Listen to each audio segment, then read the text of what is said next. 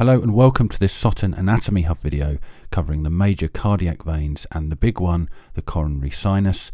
We're going to kick things off by talking about the major anatomical structures that can be seen in a posterior view of the heart. Now, it's my personal belief that the posterior view of the heart can be quite tricky to understand until you've had repeated exposure to this view. We're going to move on to the veins in due course, which you can see coming in in blue, but to begin with, let's talk about the major structures that we can see. Kicking off with the aorta, so we can see the arch of the aorta here coming from an anterior to posterior position where it is cut.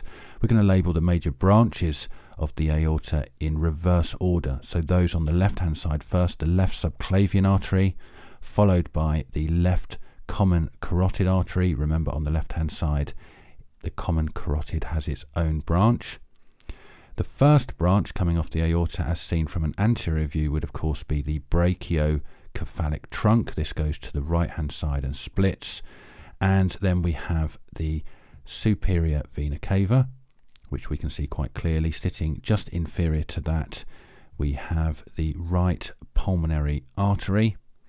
Inferior to that, we have the right superior and inferior pulmonary veins.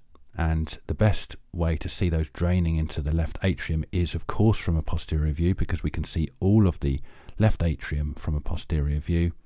And inferior to that, we have the inferior vena cava. So all of these right hand side vessels appearing on the right hand side of the image because this is a posterior view. Over to the left hand side, we have similar structures. Let's just go through those quickly. The left pulmonary artery we can see we can also see the left superior and inferior pulmonary veins, again leading into that very, very large left atrium, which is best seen from this posterior view. We can't really see it at all from an anterior view. Then, of course, moving down into the ventricles, we've got the left ventricle. Most of the left ventricle can be seen from a posterior view, and a small portion of the right ventricle can be seen from a posterior view. So that is the main anatomy that we can see. Let's now move on and talk more specifically about those veins and the venous drainage.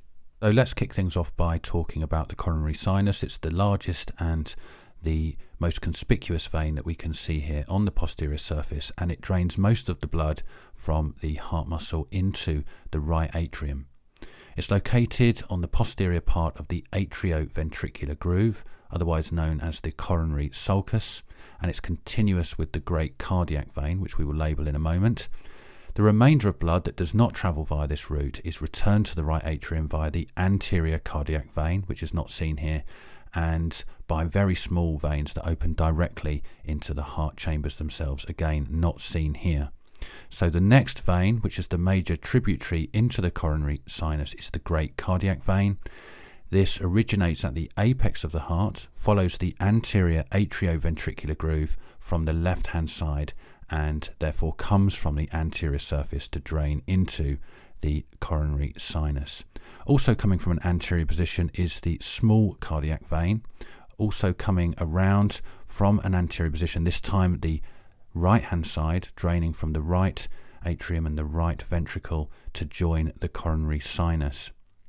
The coronary sinus opens into the right atrium via an opening that exists between the inferior vena cava and the right atrioventricular orifice near the tricuspid valve. The major vessel that drains the posterior surface is actually the middle cardiac vein, which we can see running almost down the center of the posterior surface. That drains into the coronary sinus.